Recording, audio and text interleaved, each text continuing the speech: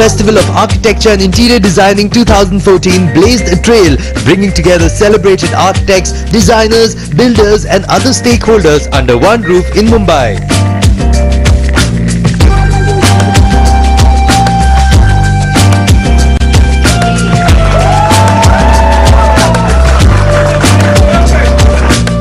One of its kind in India, the festival offered a vibrant platform to share experiences, ideologies and designs.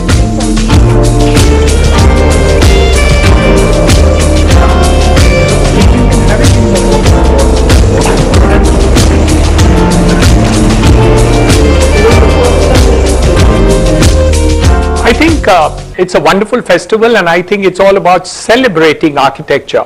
So and I think that along with the exhibitions really makes a great two days where we learn about various new facets about what design and other deliberate The client had a very simple brief. He said, look, I don't want a distracting home. I want to experience the natural beauty of the site itself. It's a weekend house, so they would go to it perhaps at least two week, two weekends of a month, if not more, and they like to entertain.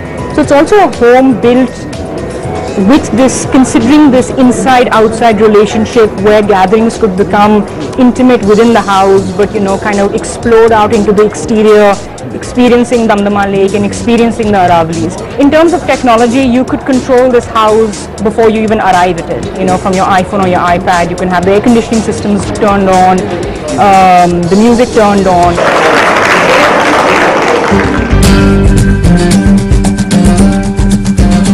Is it that feeds an architect's soul? Some sure find inspiration in music.